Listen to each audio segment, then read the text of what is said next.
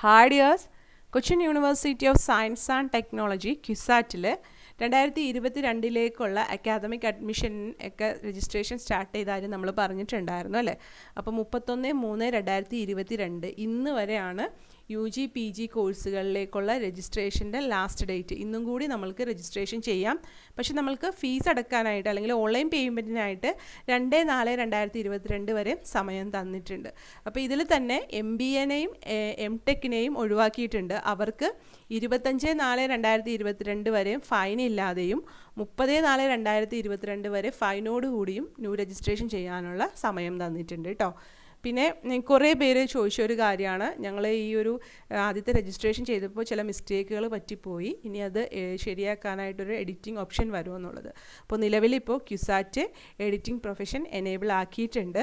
അപ്പോൾ ഇതുപോലുള്ള കറക്റ്റ് ആയിട്ടുള്ള ഇൻഫർമേഷൻ നിങ്ങൾക്ക് കറക്റ്റ് സമയത്ത് നിങ്ങളിലേക്ക് എത്താനായിട്ട് ഈ ചാനൽ സബ്സ്ക്രൈബ് ചെയ്യുക. അതുപോലെ നിങ്ങൾ ഈ വീഡിയോസൊക്കെ നിങ്ങൾക്ക് ഇഷ്ടമാവുണ്ടെങ്കിൽ ലൈക്ക് ചെയ്യുക നിങ്ങളുടെ ഫ്രണ്ട്സിലേക്കൊക്കെ ഇതൊന്ന് ഷെയർ ചെയ്ത് കൊടുക്കുക കേട്ടോ കാരണം ഇതൊക്കെ കുറച്ച് സമയത്ത് ഇപ്പോൾ എഡിറ്റിംഗ് ഓപ്ഷൻ എനേബിൾ ആക്കാന്ന് പറഞ്ഞാൽ കുറച്ച് സമയത്തേക്കായിരിക്കുള്ളൂ എനേബിൾ ആക്കി തരാം. അപ്പോൾ ആ ഒരു സമയത്ത് തന്നെ നമ്മൾ ഇത് അറിഞ്ഞ് ചെയ്താലാണ് നമുക്കിത് കറക്റ്റായിട്ട് കാര്യങ്ങൾ മുമ്പോട്ട് കൊണ്ടുപോകാൻ പറ്റുള്ളൂ. സമയം കഴിഞ്ഞാൽ പിന്നെ ഒന്നും നടക്കില്ല. അപ്പോൾ നിലവിൽ നമ്മൾക്ക് എഡിറ്റിംഗ് ഓപ്ഷൻ എനേബിൾ ആക്കി തന്നിരിക്കുന്നത് രണ്ട് നാല് രണ്ടായിരത്തി ഇരുപത്തി രണ്ട് വരെ ഉള്ളൂ. കേട്ടോ. അപ്പോൾ നിങ്ങൾ എന്തെങ്കിലുമൊക്കെ മിസ്റ്റേക്ക് ഫസ്റ്റ് രജിസ്ട്രേഷന്റെ സമയത്ത് പറ്റിയിട്ടുണ്ടെങ്കിൽ നിങ്ങളുടെ ഇവിടെ കാൻഡിഡേറ്റ് ലോഗിൻ ഉണ്ടല്ലോ. ഇമെയിൽ അഡ്രസ്സും പാസ്വേഡും ഉപയോഗിച്ചിട്ട് നിങ്ങളുടെ കാൻഡിഡേറ്റ് ലോഗിൻ ചെയ്യുക.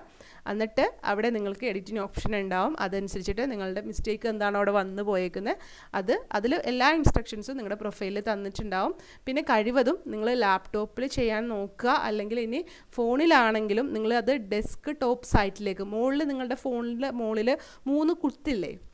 അവിടെ നിങ്ങളൊന്ന് ക്ലിക്ക് ചെയ്യാം. അവിടെ ക്ലിക്ക് ചെയ്യുമ്പോൾ അവിടെ കുറച്ച് ഡോപ്പ് ഡൗൺ താഴോട്ട് കാണിക്കും. അപ്പോൾ അവിടെ ഡെസ്ക് ടോപ്പ് സൈറ്റിൽ നിന്ന് കാണിച്ചിട്ടുണ്ടാവും. അതിലേക്ക് ആക്കിയിട്ട് വേണം നിങ്ങളിത് നോക്കാനായിട്ട്. അപ്പോൾ നിങ്ങൾക്ക് കുറച്ചും കൂടി ക്ലാരിറ്റിയിലെല്ലാം കാണാൻ സാധിക്കും കേട്ടോ. ഇങ്ങനെയുള്ള കാര്യങ്ങൾ ചെയ്യുമ്പോൾ അങ്ങനെ ചെയ്യണേ. ഫോണിലാണ് നിങ്ങൾ ചെയ്യണേന്നുണ്ടെങ്കിൽ കേട്ടോ. പിന്നെ അല്ലെങ്കിൽ ലാപ്പിലാണെങ്കിൽ പ്രശ്നമൊന്നും വരുന്നില്ല. നിങ്ങൾ കഫേയിലോ അല്ലെങ്കിൽ അക്ഷയയിലോ പോയി ചെയ്യാം. പക്ഷേ ഇതൊക്കെ നിങ്ങൾ നിങ്ങൾ എപ്പോഴും ഓർപ്പിക്കുകയാണ്. നിങ്ങൾ എന്ത് കാര്യം ചെയ്യുമ്പോഴും നിങ്ങൾ അവരെ പൂർണമായിട്ടും വിശ്വസിച്ചിട്ട് ചെയ്യരുത്. നിങ്ങളുടെ ഒരു കണ്ണതിൽ വേണം അവരെ എഴുതുന്നതും ടൈപ്പ് ചെയ്യുന്നതും ഒക്കെ കറക്റ്റ് ആണോ എന്നുള്ളത് കാരണം ചിലവരൊക്കെ ഈ റിസർവേഷൻ കാറ്റഗറിയിലൊക്കെ വന്നവർ ഇപ്പോൾ ഒ ബി സി കാറ്റഗറിയിൽ വന്നവർ ജനറൽ കാറ്റഗറിയിലേക്കൊക്കെ ആയി പോയിട്ടുണ്ട്. അത് നമ്മൾ അവരെ വിശ്വസിച്ച് നോക്കിയിരിക്കുമ്പോൾ അത് ചിലപ്പോൾ അവർക്കും അറിയില്ലായിരിക്കും. അപ്പോൾ അറിയില്ലായിരിക്കും മീൻസ് നമ്മൾ ഏത് കാറ്റഗറിയാണ് ആണെന്ന് അറിയില്ലായിരിക്കും കേട്ടോ? അപ്പോൾ അങ്ങനെയുള്ള മിസ്റ്റേക്കുകളൊക്കെ വന്നു പോയിട്ടുണ്ട്. അപ്പോൾ അതൊക്കെ നിങ്ങൾ ശ്രദ്ധിച്ച് നിങ്ങൾ ചെയ്യണം കേട്ടോ. അതെന്തെങ്കിലുമൊക്കെ ഉണ്ടെങ്കിൽ നിങ്ങൾ തിരുത്തി കറക്റ്റ് ചെയ്യാം. നിങ്ങൾക്ക് ഇപ്പോൾ സമയമുണ്ട്.